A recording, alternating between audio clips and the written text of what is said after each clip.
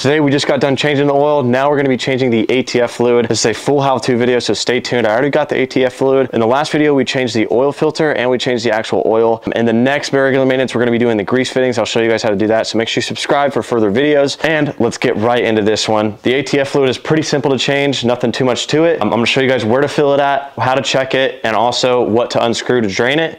And this is a full drain and fill. So this is a full how-to video on how to do everything. Stay tuned, let's get right into it. First, we're gonna start, start off by unscrewing the thing and draining it. But secondly, we're gonna go ahead and check it. And also, this is where we're going to fill it at as well, right there where that yellow is. We're gonna pull it out, check it, and then we're also gonna stick a funnel in there, and then we're gonna fill it up as well. Today, we're just using some of this stuff, automatic transmission fluid, Quaker State stuff, ATF, and you wanna make sure you're using Mercon. We also have some of this stuff right here that we got at Walmart. It's good for GM and Ford. Y'all guys saw already in this video that we picked up some of that as well. I'll show actually me picking up some of that at Walmart right now. If it takes 5.81 quarts, six. Uh, I, I, know I have a bar. Five. Three. So let's get into it. I'm gonna start by draining. So let's get under the hood and drain our drain our ATF fluid. All right guys, so where we're gonna drain it at is right here. This is where we're gonna start. Uh, so as you guys can see, it's pretty simple to see where the automatic transmission comes.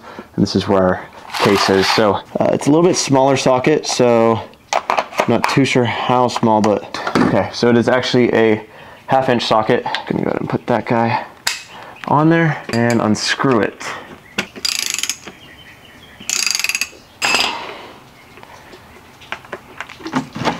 Oof. I need to clean that up ASAP. Clean this plug. Oh, fuck. With brake parts cleaner, and then we're gonna put it back in there once it's done draining.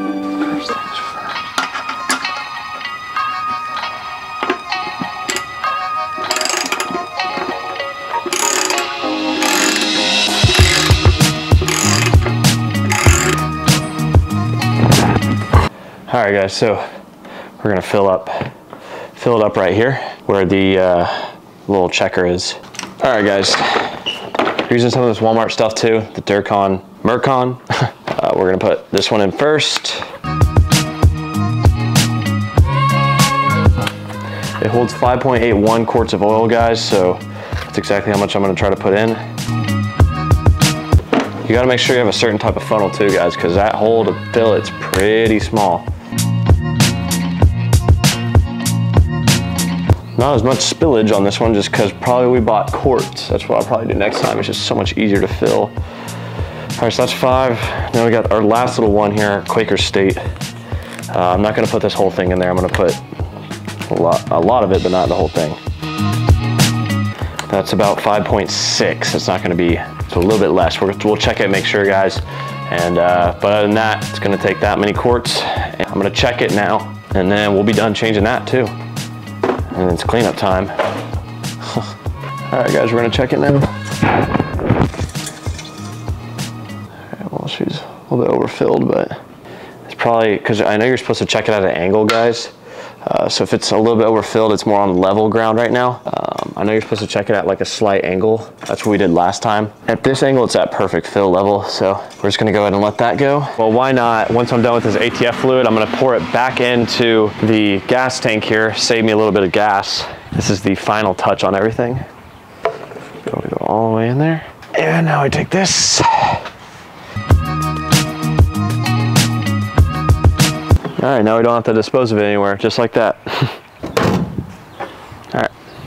Anyways, uh, that will be it for this Power Stroke video. Thank you guys for watching once again. Um, we did a full ATF change on this truck. I hope you guys did learn something. I hope you guys were able to implement this yourself.